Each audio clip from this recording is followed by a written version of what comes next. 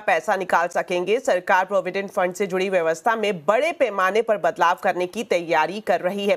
तो इसमें किस तरह से बदलाव किया जाएगा? पूरी डिटेल्स जानने के लिए सीधा जुड़ते हैं हमारे वरिष्ठ सहयोगी लक्ष्मण रॉय से। तो लक्ष्मण जी, आपसे जानना चाहेंगे कि ईपीएफओ जो नेक्स्ट फ़ेज़ का रिफॉर्म करने जा रहा है खासतौर पर अगर हम दर्शकों को बता रहे हैं कि एटीएम से भी प्रोविडेंट फंड का पैसा निकाला जा सकेगा तो किस तरह से ये पूरी सुविधा सब्सक्राइबर्स को देने की तैयारी है?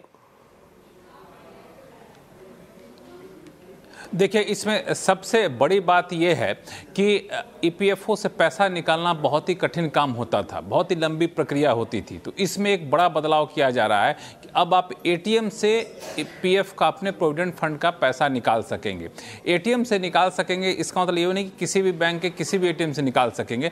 दरअसल प्रोविडेंट फंड की ऑफ़िस की तरफ़ से आपको एक एटीएम कार्ड दिया जाएगा। उस एटीएम कार्ड से आप चुनिंदे एटीएम पे जाएँगे तो वहाँ पे आप निकाल सकेंगे, उनके लिए अलग अलग बैंकों से करार होगा, और ये सुविधा अगले साल दो मई, जून के आसपास मिलनी शुरू हो जाएगी। यानी छः महीने की बात है छः महीने बाद आप प्रोविडेंट फंड का पैसा आसानी से निकाल सकते हैं, वो भी एटीएम से निकाल सकते हैं। दूसरा जो बड़ा रिफॉर्म किया जा रहा है, वो है कि कर्मचारी के कंट्रीब्यूशन की सीमा जो बारह है, उसे हटाई जा सकती है उससे बढ़ाई जा सकती है। अभी क्या होता है कि बारह आप देते हैं, बारह एम्प्लॉयर देता है।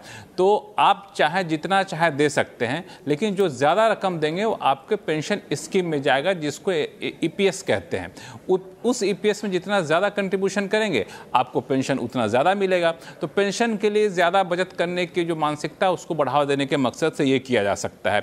तीसरा, कि ईपीएफ में कंट्रीब्यूशन के लिए वेज सीलिंग की सीमा बढ़ाई जा सकती है। जो पंद्रह हज़ार रुपये उस सीमा को बढ़ाई जा सकती है। ये भी एक बड़ा बड़ी राहत होगी ई पी मेंबर के लिए। तो ये तीन बड़े बदलाव करने की सरकार तैयारी कर रही है।